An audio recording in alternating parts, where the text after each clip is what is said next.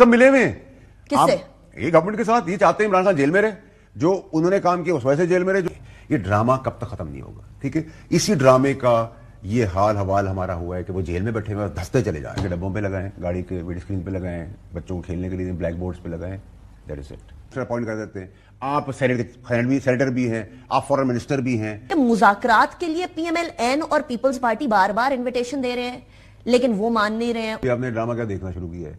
कि deputy prime minister मज़ाक कर रहे हैं। कब डेप्यूटी प्राइम मिनिस्टर बन गए बसमीम अस्सलाम नाजरीन, आज फैसल वाडा ने लाइव शो में बताया कि नून लीग ने धांधली करके बयानियाँ बनाने की कोशिश की कि मरीम नवाज़ और शहबाज सरकार की ज़बरदस्त परफॉर्मेंस के बाद हम ज़मनी इंतबात भारी अक्सरियत से जीते। मगर फैसल वाडा ने कहा कि इनका बयानिया टूट के लंगड़ा हो चुका है। और नवाज़ शरीफ और शहबाज शरीफ एक्सपायर्ड लीडर हो चुके हैं। कौम इनसे जान छुड़ाना चाहती है। फैसल वाडा ने शहबाज शरीफ और नवाज़ शरीफ के बारे में मजीद क्या कहा? आए पहले इनकी गुफ्तगू सुनते हैं, फिर इस पर तफसील से बात करते हैं। बता दें कि नवाज़ शरीफ साहब और शहबाज शरीफ साहब और मरियम साहबा। हमें है कि मरियम नवाज़ साहिबा की हुकूमत के लिए पीछे पूरा वेट नवाज़ शरीफ साहब ने डाला। शहबाज शरीफ साहब किसको पसंद है किसको नहीं पसंद ये जबान जदे आम है। इसके अंदर कोई शक की बात नहीं है कि शहबाज शरीफ साहब बल्कि उन्होंने खुद ही एक्सेप्ट किया था कि मैं तो इस्टेब्लिशमेंट लाइक्स मी अब ऐसी सूरत हाल में वो इशू तो नहीं है वो बयानिया दोबारा क्रिएट करने की कोशिश करेगी पीएमएलएन देखिए इसको आप कह सकते हैं कि कुड बी पॉसिबिलिटी बट ये बयानिया इतना टूट के लंगड़ा होकर गिर के दफन हो चुका है कि अब ये बयानिया किसी का भी नहीं उठ सकता। ये तो मैं बड़ा क्लियर हूँ। अब आप पूछेंगे कि फिर इन लीडर्स का मुस्तकबिल क्या होगा? टाइम खत्म होना मैं सवाल भी अपनी तरह कर लेता हूँ। इन लीडर्स का एक्सपायर्ड लीडर्स का तमाम का बाय एंड इन जनरल इनके स्टिकर बनाएँ। राशन के डब्बों पे लगाएँ गाड़ी के वीडियो स्क्रीन पे लगाएँ बच्चों को खेलने के लिए ब्लैक बोर्ड्स पे लगाएँ that is it this is the way forward for these expired all of them all the leaders सारी जमातों के जी जी बिल्कुल। और सारी जमातों में पीटीआई भी?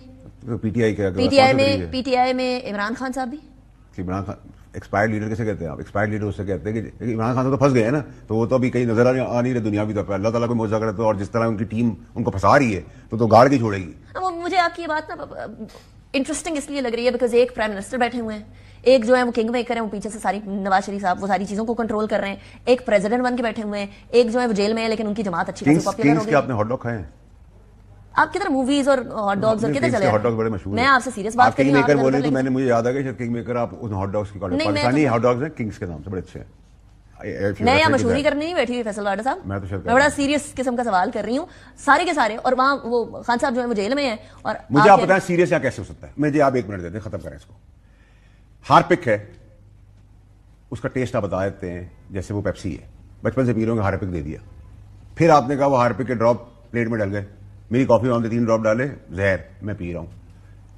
लॉजिक है इस पॉलिटिक्स की।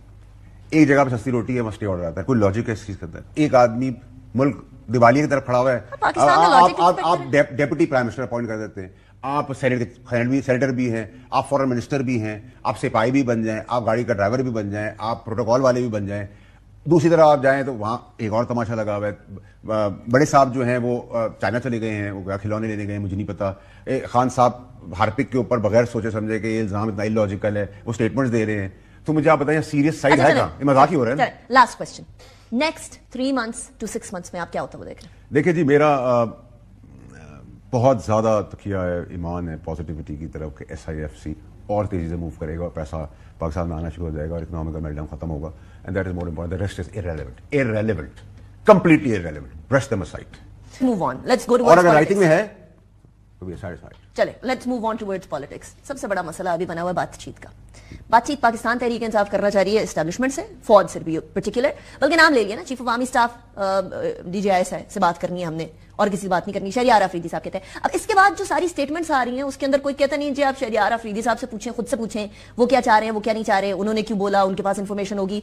रऊफ साहब कहते हैं कि हमने वाकई में उनसे बात करनी है। बात किस बारे में करनी है? That is a different story कि हमने कहना है कि जी, बड़े अदब से कि ये आपके पैरामीटर्स हैं, आपको इसमें रहना चाहिए। ये मुजाकरात के लिए पीएमएल एन और पीपल्स पार्टी बार बार इन्विटेशन दे रहे हैं, लेकिन वो मान नहीं रहे हैं। उन्होंने जिससे बात करनी है, क्या वो बात करने को तैयार है उनसे? इंतज़ार साहब, देखिए, सबसे पहले तो ये कि हमें एक मिनट में पीछे जाना पड़ेगा। बाजवा साहब बकौल पीटीआई के बहुत बुरे आदमी थे, उन्होंने उनकी रिजीम गिराने का पूरा प्लान किया। ये नैरेटिव था हमारा। फिर उसी बाजवा साहब को आपने दूसरी दफ़ा पीटीआई ने अपनी गवर्नमेंट के दौरान ही एक और एक्सटेंशन ऑफ़र कर दी।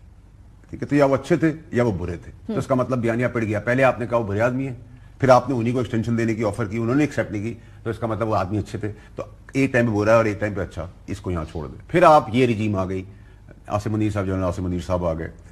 उन्होंने कहा, ये सारा कुछ इस रिजीम ने किया अब इस ये रिजीम इसका मतलब बुरी हो गई। और आज तक ये नैरेटिव चलता है अब आप कह रहे हैं, इसी फौज, इसी आर्मी चीफ इसी डीजीआईएस से बात करनी है। तो ये अच्छे हैं, ये बुरे हैं। ये तब बुरे थे, आज अच्छे हो गए, आज अच्छे हैं, कल बुरे हो गए थे। क्या ये? ये ड्रामा कब तक खत्म नहीं होगा? ठीक है? इसी ड्रामे का ये हाल हवाल हमारा हुआ है कि वो जेल में बैठे हुए धसते चले जा रहे हैं धसते चले जा रहे हैं नंबर एक। ये क्यों कह रहे हैं दस्ते चले जा रहे हैं? उनको बहुत सारे रिलीफ मिल रहा है। देखिए, वो तो चेयरमैन साबिक chairman PTI getting a lot of relief तो- दस्ते चले तो जा रहे हैं। अदालती निज़ाम के ऊपर हमारा सवाल निशान है छह को नौ नौ को छह और उसको मेरे ख्याल से मेजोरिटी को जस्टिस मंसूरी शाह ने बहुत ग्रेसफुली काबिल तरीके से एक्सप्लेन भी किया है कि हमारे इश्यूज़ क्या हैं। सोलह परसेंट और खातन हैं जिनको फाइव हंड्रेड सिक्सटी टू के बजाय पाँच हज़ार छह सौ होना चाहिए मेरे हिसाब से। इक्कीस हज़ार जजेस की रिक्वायरमेंट है आप पच्चीस हज़ार जजेस अपॉइंट करके दें। एक, एक दस एक मिलियन के ऊपर तेरह जजेस हैं हमारे वहाँ दुनिया में नब्बे होते हैं। बट ये तो हमारे मुल्क में होता रहा है ना। हमने भुट्टो साहब को फांसी दी छियालीस साल फिर मैं वहीं जाऊँगा छियालीस साल बाद बता रहे हैं। फिर आपने जराई साहब को चौदह साल कैद कर दी उसका कोई कानून में कोई जगह नहीं है जहाँ आपका सबूत नहीं है। फिर आपने नवाज़ शरीफ को ब्लैक गार्ड दी फिर इमरान खान को आपने गिरा दिया। खोल के अदालत संडे के दिन। और कहा बारह बजे तक चेक करवाओ किसी भी हाल में। फिर आप पॉपुलरिटी भी भाई इधर चले इधर इधर इधर six nine nine nine six six nine nine six ये नहीं हो सकता। और उसको एड्रेस किया मंसूर अली साहब शाह साहब ने। बड़े ग्रेसफुली किए तो अब मेरे लिए इरेलीवेंट हो गए। अब मुझे लग रहा है कि एस आई एफ़ सी जिसको चीफ लीड करे पाकिस्तान के लिए वो मेरे इंकरेजिंग नहीं, मैं रहा हूँ, आप तो वो खान साहब की बेसिस पे देखिए करेंगे नहीं नहीं ऐसा कुछ नहीं होता। खान साहब को तो ये बताया जा रहा है कि हम लड़ रहे हैं और अमीन गंडापुर बदमाशी पे खड़ा हो गया। अमीन गंडापुर तो लेटा हुआ है। कहाँ से बदमाशी कर रहे हो? तो गवर्नमेंट के साथ है। What do you mean? वो कह रहे हैं इस्लामाबाद पे कब्जा कर देंगे? उसकी तो दिल दिमाग जबान सब साथ कहाँ चल रही है? अटैच ही नहीं कहीं साथ बॉडी लैंग्वेज भी तो आप देखें ना। फिर तस्वीर आपने देखी थी ना जब सारे सीएम खड़े हुए प्राइम मिनिस्टर साहब खड़े उस पर उनको गुस्सा हुआ डंडा हुआ तो उन्होंने कहा कि आप पब्लिकली को जाके जेल में बता दे खान साहब को। ये सब मिले हुए किससे?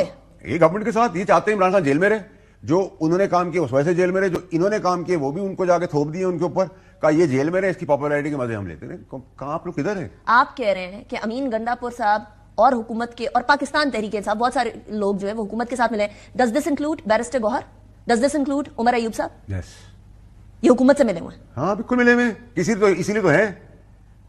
अच्छा एक चीज़ मुझे बड़ी इंटरेस्टिंग लगी। मैं मैं आपकी तरफ़ वो रखती हूँ। और क्योंकि आपने बात कही है मुझे यहाँ डिफरेंस नज़र आया। रऊफ हसन साहब ने कहा है पीएससी के हवाले से कि अभी तक कोई फैसला नहीं हुआ।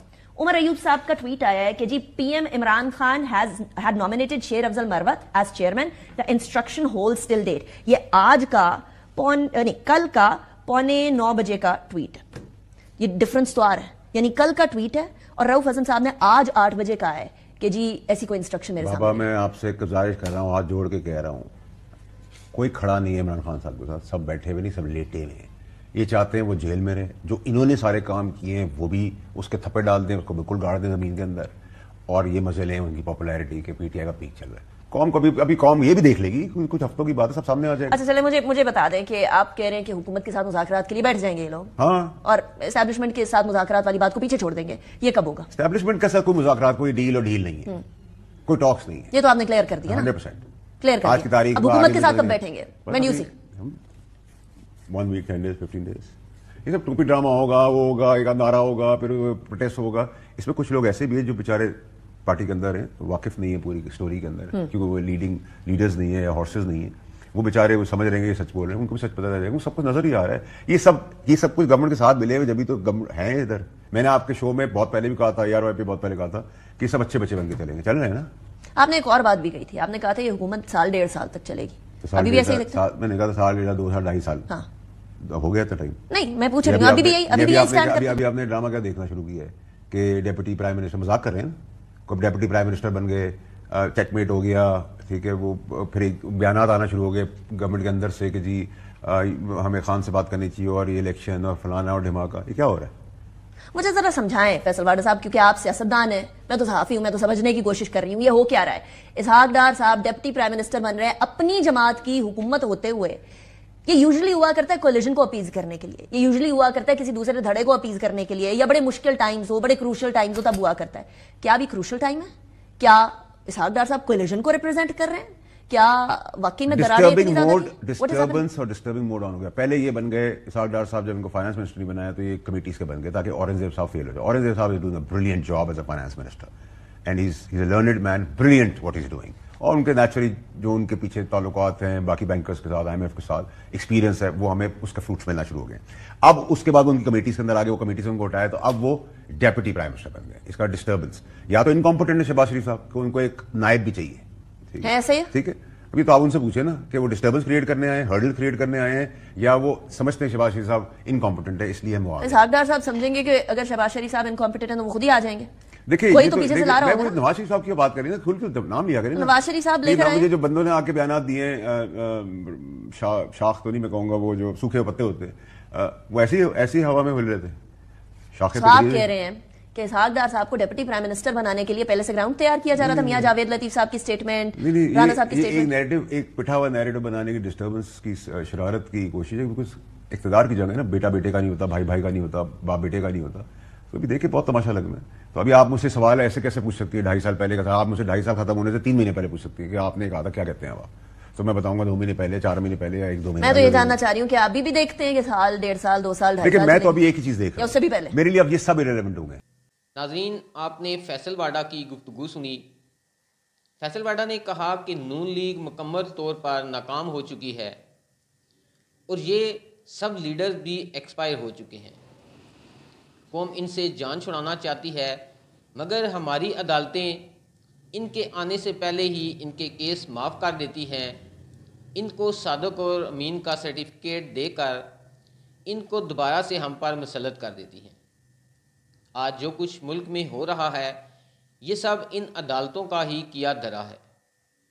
हमारी अदालतें जुल्फ़ार अली भुट्टो को पहले फांसी देती हैं और फिर 40 साल के बाद ये कहते हैं कि हमसे गलती हुई और फिर ये उस मुर्दे को 40 साल के बाद इंसाफ देते हैं। फैसल वाडा ने कहा कि इस मुल्क में 70 साल से यही हो रहा है।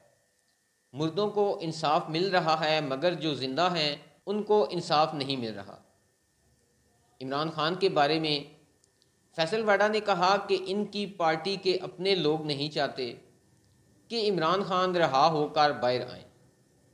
इमरान खान अंदर हैं और इनकी पार्टी के सब लोग बैर मज़े कर रहे हैं। ना इमरान खान की सुनी जाती है, बल्कि इनकी पार्टी के सब लोग अपनी अपनी मर्जियाँ कर रहे हैं। इमरान खान को अंदर की बात बताई ही नहीं जाती, बल्कि उन्हें बताया कुछ जाता है और ये करते उसका उल्ट है। नाजरीन, आपका इस बारे में क्या कहना है? आप अपनी राय से हमें ज़रूर आगाह करें। नेक्स्ट वीडियो तक मुझे दें इजाज़त। अल्लाह हाफिज़।